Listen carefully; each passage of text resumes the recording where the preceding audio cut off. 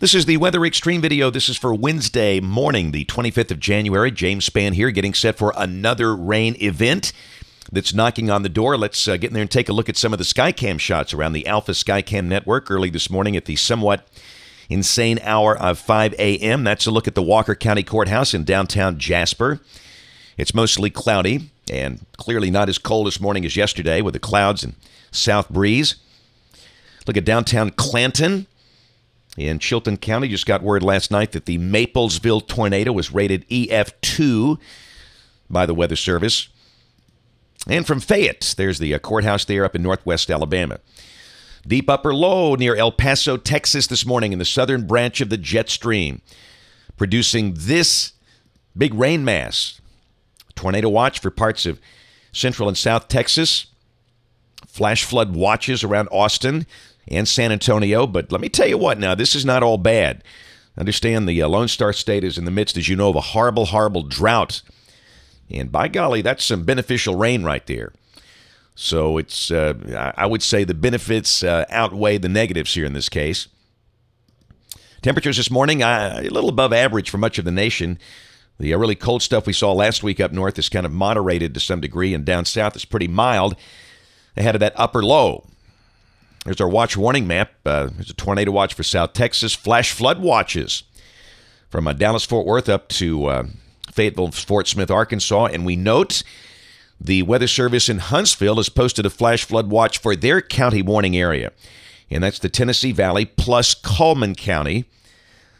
And again, let me stress Cullman County is in the Birmingham television market, but it's in the Huntsville County warning area. It's a little confusing, but um, Cullman belongs to us on the television side. We'll check the uh, convective outlook. This is for today and tonight. Slight risk of severe weather. Southeastern Texas and much of Louisiana. And no real change tomorrow for a Thursday. The better severe weather opportunities over the southern half of Alabama. And again, we'll walk you through that in uh, detail. There was no enhancement in there. The and within the slight risk, uh, the probabilities are at 15%. And up this way, the low end 5% probabilities. And it just doesn't look like a classic severe weather setup here, as you'll see. And the rain for the next five days, this is valid through uh, Sunday evening, through the weekend. And this is suggesting rain amounts varying from about an inch and a half up in the Tennessee Valley down to uh, about one inch in the Gulf Coast, with bigger numbers north and west. And this is the RPM accumulated rain through 72 hours, which is, of course, higher resolution. And you can see it's got some heavier rain down on the Gulf Coast with uh, uh, thunderstorms. And for the Tennessee Valley, it does uh, suggest rain amounts could get up there toward two inches, especially over northwest Alabama. And down this way, amounts are, are one half to one inch, which I think is low. I, I think pretty good chunk of our area could get one to two inches. And of course, the big numbers are off to the west. All right, this is the GFS. This is valid at uh, noon today. This is the 06Z run, valid at uh, 12 o'clock at 500 millibars. Big upper low over the Rio Grande. And during the day today, the big rains course will be west of here. Having said that, in the warm air advection pattern, we could see a few scattered showers breaking out through tonight, but nothing organized. Tomorrow, that thing is slow moving. According to the GFS, at noon, it should be around uh, College Station, Texas, still. But let's walk you through the RPM, the high resolution RPM. This will get you through this event. This is this evening at 6 o'clock. It shows nothing here. Thunderstorms over Arkansas and Louisiana. Tomorrow morning at 6 o'clock, uh, we could see some rain falling here at that point, nothing overly heavy. Go to 12 noon tomorrow. Look at the line of storms down there in the Gulf. I think that's where the real severe, severe weather will be. And that could be a pretty big water spout outbreak, if you will, over the open waters. And again, we've got showers here. 6 o'clock tomorrow evening that really nasty line of storms. And again, that should be severe storms, should be racing on the Gulf Coast and in the coastal waters up here. Definitely some thunder, some heavy rain possible at times, but not totally convinced we have any severe weather problems. Then by Friday morning at 6 o'clock, the RP, RPM has everything totally out of here. And maybe a few snow flurries up in the Great Smokies. Uh, the RPM is faster than the GFS. Uh, but I think it might be on on the right track here. We'll probably leave a, a chance of lingering rain in there Friday morning, but um, I think most of it will be over by six o'clock. We'll check the uh, severe weather parameters. We'll just look at the STP this morning, the significant tornado parameter. STP, kind of a combination of shear and instability. This is at uh, 6 o'clock tomorrow evening, and the STP does get over 1 uh, over parts of southwest Alabama. And yeah, we'll have to, you know, we'll watch up, this way for sure. There's no doubt we have to watch it.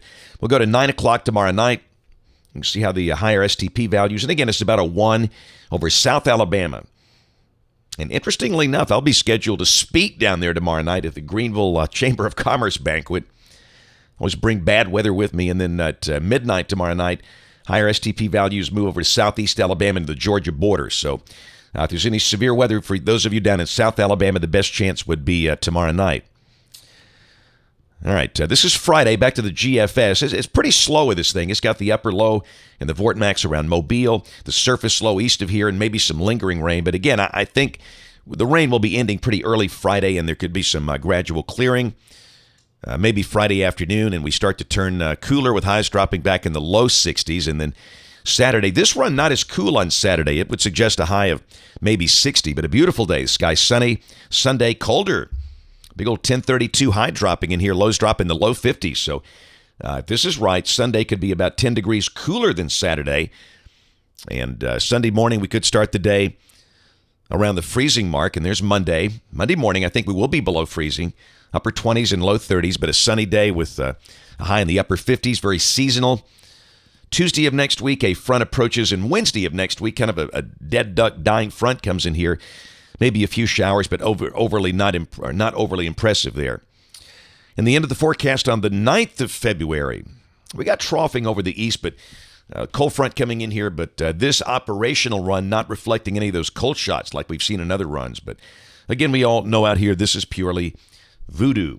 That's it for the Weather Xtreme video today. We'll have notes on the blog. The next video here by 3.30 or so today.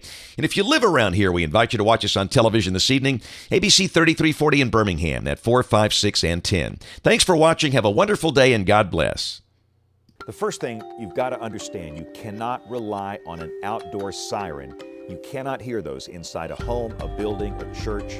It won't work. You've got to get something inside your house. That's a weather radio or maybe a smartphone app. We work with a company that's developed a wonderful weather radio app for Android phones and iPhones. It knows where you are, and if you're in a tornado warning polygon, you get the warning. And if you're not, you don't. It's an effective device, and it's a great way to be sure you get the warning.